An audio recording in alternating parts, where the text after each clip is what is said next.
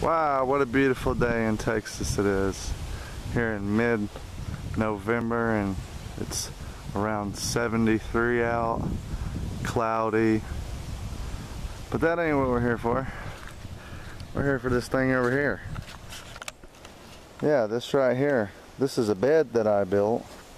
what I did is I laid down some cardboard on the bottom. I put in some compost. I broke up a couple mushroom kits that I had. Actually, there's four in here. Yeah, quite a bit, but I had them. I had to get rid of them. They can't lay, can't leave them laying around. Um, I even have more right now that um, I guess I'm gonna build some more beds and grow them. So what I did is I laid down cardboard, compost, the mycelium, which is the mushroom kit I broke up. You can buy um, grain spawn if y'all want to do it that way. However, I'm just really showing it uh, and then I laid some hay down.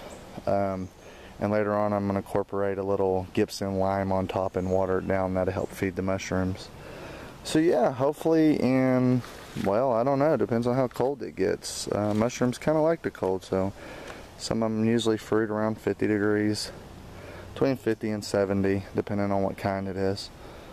So yeah, this is my new project, and hopefully we can um, hopefully I get some mushrooms in here and I can show y'all. That'd be awesome.